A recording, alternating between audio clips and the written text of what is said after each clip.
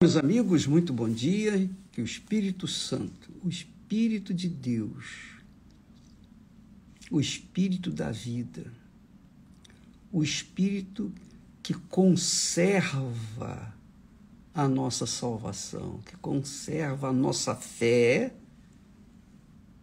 que conserva a nossa salvação. Ele venha sobre você, removendo aqueles pensamentos obtusos, aqueles, aqueles pensamentos escusos, os maus pensamentos, e fazendo você entender que os pensamentos de Deus são o melhor para nós, para você, para mim, para todos nós. Só que nós temos que ter juízo para obedecer, seguir, praticar os pensamentos de Deus. Então, quando Jesus estávamos falando ontem a respeito da semente, que é a palavra de Deus, a semente que caiu na boa terra, a semente que cai na boa terra, cai na boa terra porque a pessoa a pessoa tem um coração honesto e bom. Não quer dizer com isso que ela seja merecedora. Não. Porque os méritos não têm nada a ver com o que nós temos nesta parábola, no mistério desta palavra, desta parábola. Porque ninguém merece nada de Deus, ninguém merece coisa alguma dele. Nós somos como traça aos seus olhos por conta dos nossos pecados, nossa natureza pecaminosa. Porém, quando ouvimos a voz dele, ou seja, quando ouvimos a palavra dele e aceitamos, acatamos, nos sujeitamos, então esse é um coração honesto, que reconhece que precisa mesmo seguir na direção que Deus determina através da sua palavra. Esse é um coração honesto, é um coração sincero. E, obviamente, é bom porque é um coração que tem compaixão dos que estão sofrendo. A pessoa, às vezes, está sofrendo mas ela tem compaixão das outras pessoas que sofrem. Então, nós vimos no testemunho que vocês devem ter assistido aí, esse testemunho dessa mulher, ela teve uma experiência com Deus extraordinária, mesmo, mesmo afrontando Deus. mesmo afrontando Deus na realidade, aquilo ali é pureza de coração no sentido assim, coração sincero, coração sem maquiagem. Então ela assumiu o que ela era, o que ela acreditava e manifestou revolta contra Deus. e sabe que isso é bom? Sabe por que, que é bom? Porque quando a pessoa se revolta contra Deus, é porque ela crê em Deus. se ela não cresce em Deus, ela não se revoltaria contra Ele, não é verdade? Pois bem, essa é a boa terra.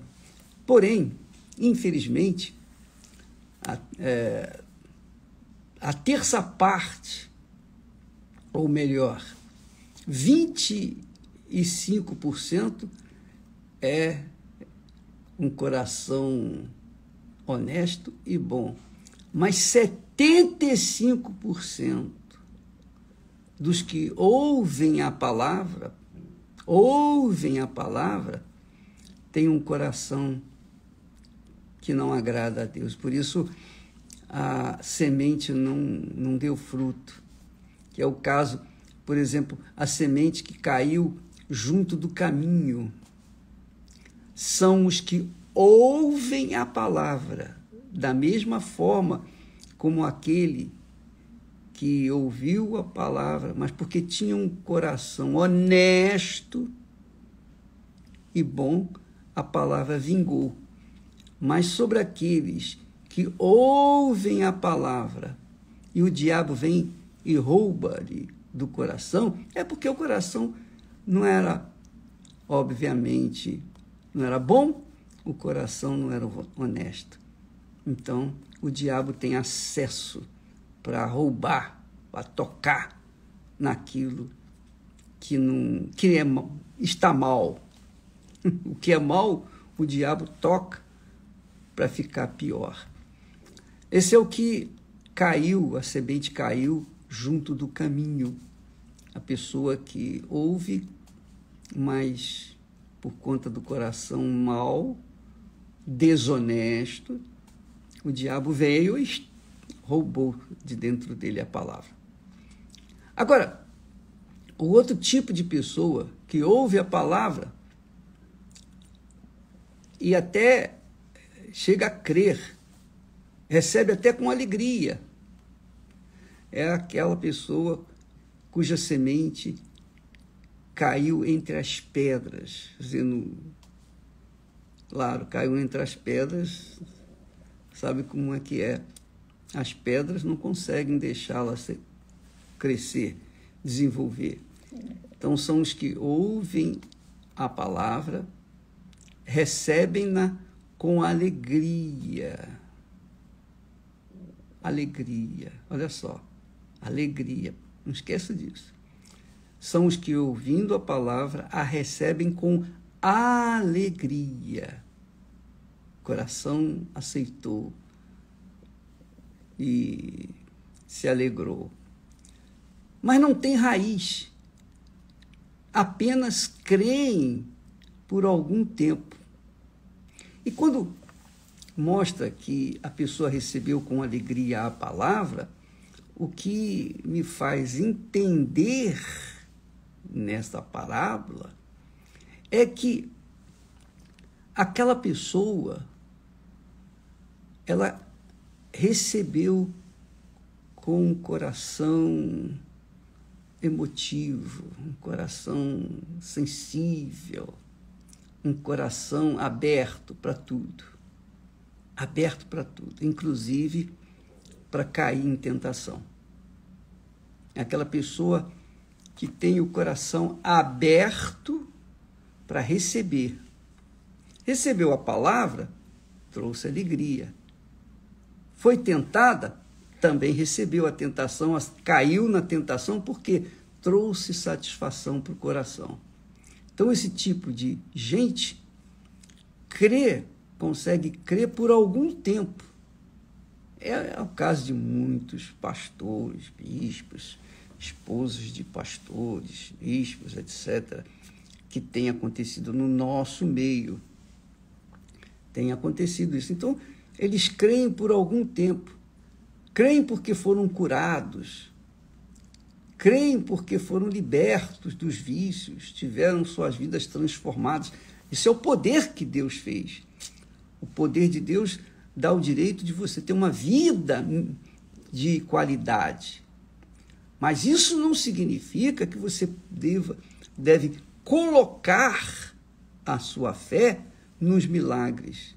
Muitas pessoas mantêm-se na fé por algum tempo, porque apoiam, têm apoiado a sua fé no milagre. Ah, Jesus me abençoou, eu fui curado.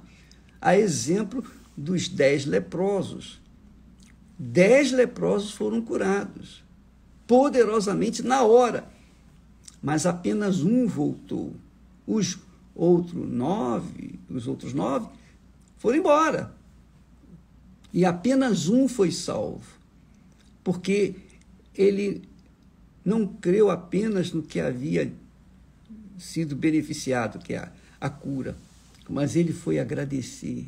Quer dizer, esse mostra que o seu coração era honesto e bom, e ele foi agradecer.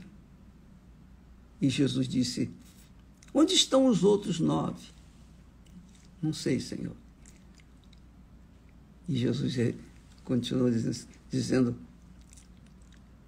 Vai, porque a tua fé te salvou. Quer dizer, a fé que salva é a fé que mantém. Não é a fé que cura pura e simplesmente o corpo. Então, muitas pessoas que estão me ouvindo nesse momento, participando desta live, elas foram curadas, foram libertas, tiveram seus casamentos restabelecidos. Aconteceram milagres, mas são pessoas que mantêm a sua fé viva por conta dos milagres, não por conta de terem tido um encontro com Deus. Teve um encontro com o poder de Deus, mas não com Deus, não conhecem Jesus. Então, essas pessoas normalmente ficam por algum tempo, mas quando vem a tentação, esquecem rapidinho o que Jesus fez e voltam à vida antiga. Essa é a verdade. Então, amiga, avarie-se a si próprio, examine-se a si mesmo, a, a, fim de que você venha descobrir que tipo de fé você tem tido em Jesus. Que tipo de fé você tem conservado dentro de si? Porque se você não tem o Espírito Santo, porque o Espírito Santo com certeza não vem sobre um coração emotivo, um coração que é, está receptivo a tudo, inclusive o mundo. Uh -uh. O Espírito Santo vem sobre as pessoas cujos corações são honestos, quer dizer, sinceros e bons. A semente, a outra semente que caiu entre os espinhos, são aqueles que ouvem também a palavra. Todos ouviram a palavra. A semente caiu. A semente foi semeada e caiu. Caiu entre as pedras, caiu entre uh, a beira do caminho, caiu entre os espinhos. E também caiu na boa terra. Só que caiu na boa terra que deu fruto. Mas a semente, por exemplo, que caiu entre os espinhos, são aquelas pessoas que ouvem a palavra e ouviram, guardaram até de certa forma, mas indo adiante, indo adiante, elas são sufocadas,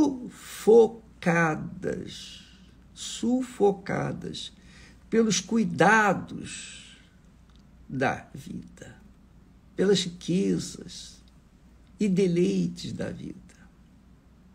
Elas são sufocadas pelos cuidados, pelas riquezas e pelos deleites da vida. E não dão fruto com perfeição. O fruto tem que ser com perfeição. Elas são sufocadas. Por que, que foram sufocadas? Com os cuidados da vida terrena. Isso acontece com as pessoas imediatistas as pessoas que querem resultados na hora. Elas creem nas promessas de Jesus para o agora, o hoje, como se Jesus fizesse mágica, como se a palavra de Deus fizesse mágica. Não, não é assim. Elas querem assim. As pessoas querem resultados na hora e querem tudo para ontem. Querem tudo para ontem.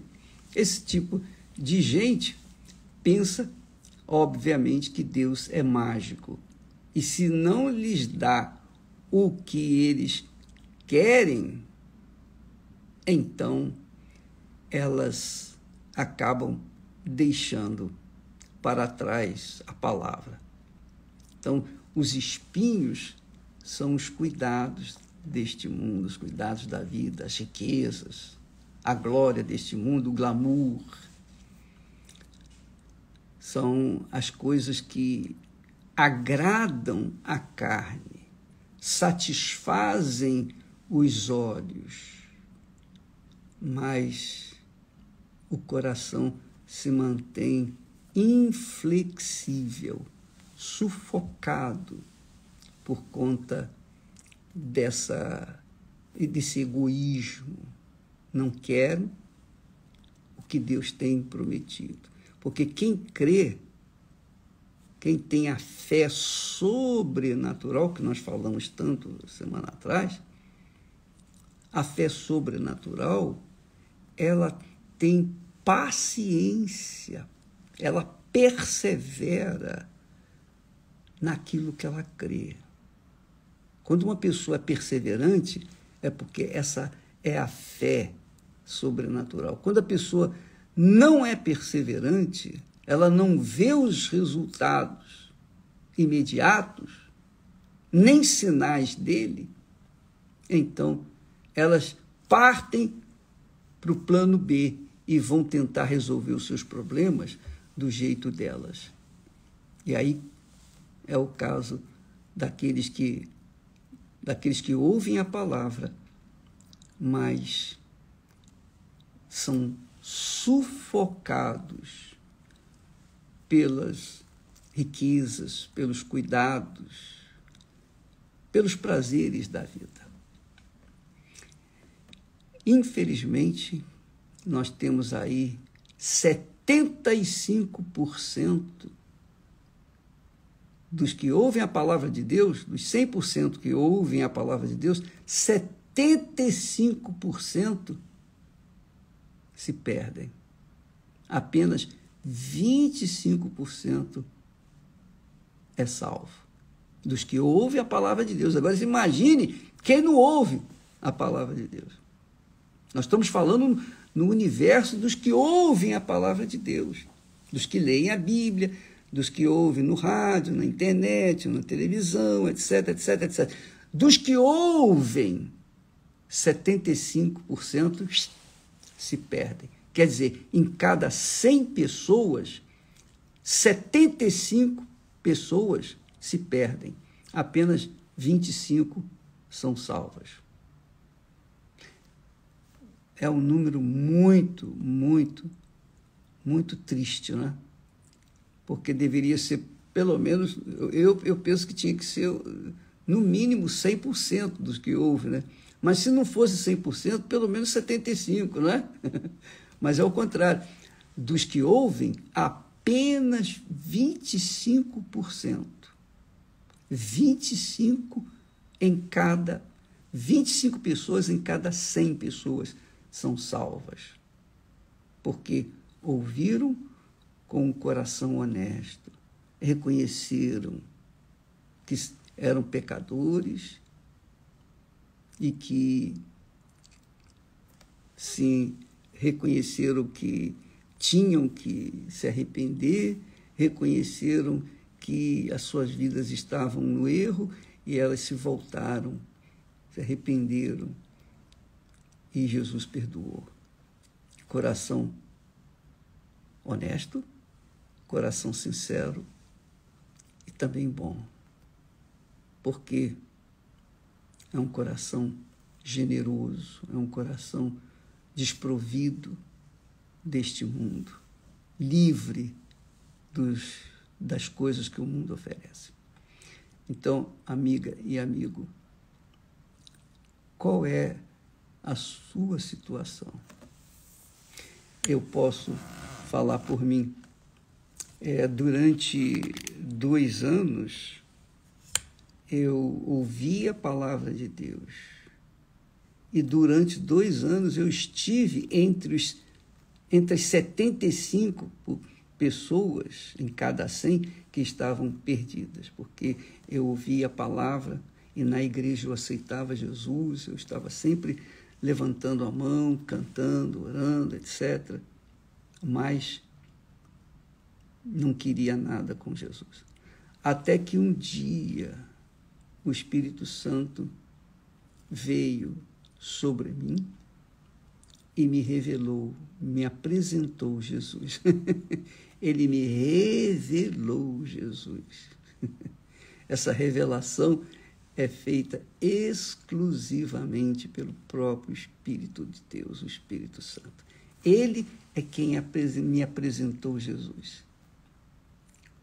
O Espírito Santo me convenceu dos meus pecados, me convenceu da, eh, das sujeiras que eu era, da sujeira que eu era, do lixo que eu era. E então eu fiquei desesperado, porque quando ele convence, não há como a pessoa não se converter. E ele me converteu, ele me convenceu, e então naquele momento desesperador, eu disse: Quem pode me salvar? E ele me apresentou Jesus. E, Jesus, e eu fui a Jesus, Jesus me recebeu de braços abertos e me salvou, me lavou, me perdoou. Enfim. Então, amiga e amigo, mas eu fiquei dois anos ouvindo a palavra, dois anos cantando, louvando, adorando alguém que eu não conhecia, até o dia em que eu resolvi me entregar. Aí sim, o Espírito Santo veio. Que isso aconteça com você nessa campanha da fogueira santa, da troca de espírito, que você tenha até o final desse mês para subir no altar.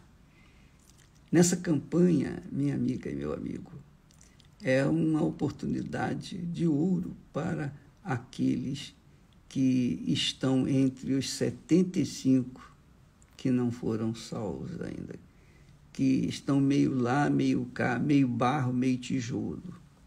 Sabe como é que é, né? É, mas não é, é, mas não é tanto assim, não é eu acho isso, eu acho que é, são 75% é assim. 75 em cada 75 pessoas em cada 100 são assim. E apenas 25 25 pessoas reconhecem e são salvas. Deus abençoe a todos vocês e amanhã estaremos de volta. Hoje nós temos na Igreja Universal um trabalho todo especial voltado para os casais, para os solteiros, para os que estão separados. Enfim, o trabalho é voltado para o problema sentimental, para a vida sentimental. Depois que a gente tem um encontro com Deus, a coisa mais importante na nossa vida é encontrar a parceira ou o parceiro, a pessoa que vai fazer parte da nossa vida. É, são os braços da cruz. Depois que a gente forma, tem um relacionamento com Deus, é, são, é o pé da cruz, a haste vertical da cruz. Depois que a gente tem um encontro com Deus, a coisa mais importante, a segunda coisa mais importante é, são os braços dessa cruz. E não se esqueça, que os braços da cruz são feitos, eram feitos e são feitos do mesmo material que é feito o pé da cruz, a haste vertical. Quer dizer, a pessoa que nasce de Deus vai buscar uma pessoa para fazer par com ela, para formar um só corpo do mesmo material que foi feito o pé da cruz. Quer dizer, o mesmo espírito.